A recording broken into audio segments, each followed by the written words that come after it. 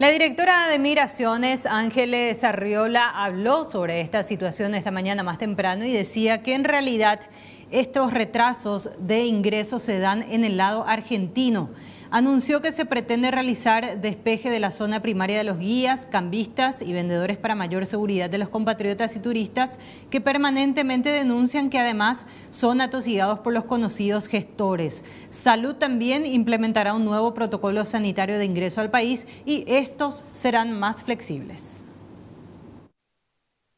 Y el problema no se da en el lado paraguayo, o sea, no se da con migraciones Paraguay, de hecho lo publican en, el diario, se da con Migraciones Argentina. La confusión es que ya no se presenta más la declaración jurada de salida del país. Eso lo anunció Cariñano, la directora nacional de Migraciones Argentina. Y creo que eso aprovechan muchos avivados que no deberían estar dentro de la zona primaria, llámese guías, llámese cambistas, llámese eh, vendedores, nadie tiene que estar en esa zona porque ahí es donde se confunde aquellos que están llegando en los buses.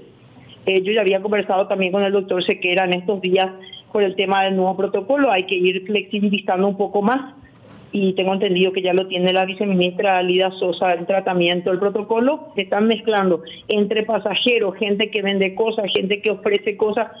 Eso es lo que no tiene que ocurrir en esa zona. Debería estar, debería ser un área estéril.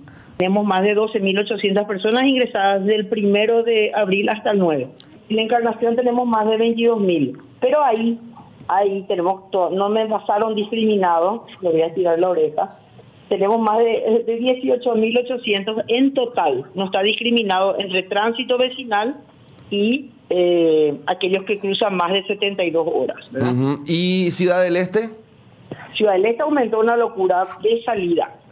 Ingreso tuvimos 3.200 en esa semana que te hablo y la salida más de 7.700 personas que salieron en la semana del primero al 9. El fin de semana explotó Ciudad del Este. Mira que teníamos las cuatro, porque el espacio da para cuatro también en Ciudad del Este, para cuatro eh, ventanillas y tuvimos un promedio de 1.000 a 1.500 personas que salieron este fin de semana.